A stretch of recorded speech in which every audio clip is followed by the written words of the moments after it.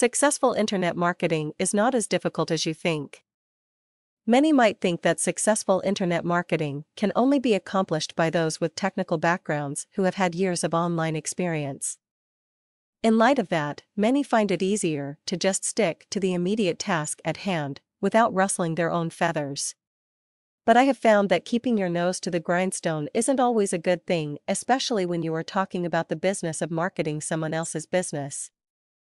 I don't care if you are working for a conventional employer or a network marketing company or anyone in between.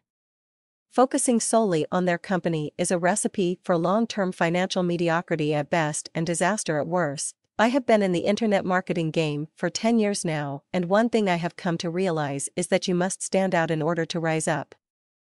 This is what does not stand out. Replicated websites, Me Too portfolios hiding behind your products or services, weighted down empty promises of making people overnight millionaires. I wonder why internet marketers do not dare to be different.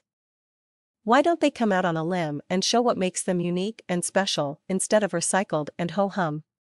If you are tired of the merry-go-round and want to learn how to step out on faith, step up to the plate, and step into your truest destiny, then I encourage you to look deeper. If you want to be a successful internet marketer, then you only have to shift your vision, look beyond your MLM or network marketing business. Look past the pills and the potions you are peddling.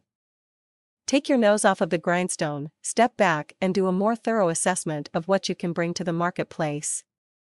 I bet you are limiting yourself and that you have more assets than you've previously given yourself credit for. Here are some great questions to ask yourself 1.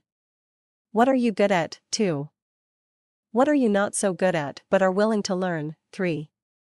What simple or major problems have you overcome in the business world that you can now turn around and help others navigate? 4. What about personal challenges? What have you survived that now positions you to give hope to others? Now, asking these questions is just the beginning of your journey to building a personal business that you own and can take pride in. One that fully reflects more of what you can bring to the table, one that has more of your personal signature on it and testifies more to who you are and what you are made of.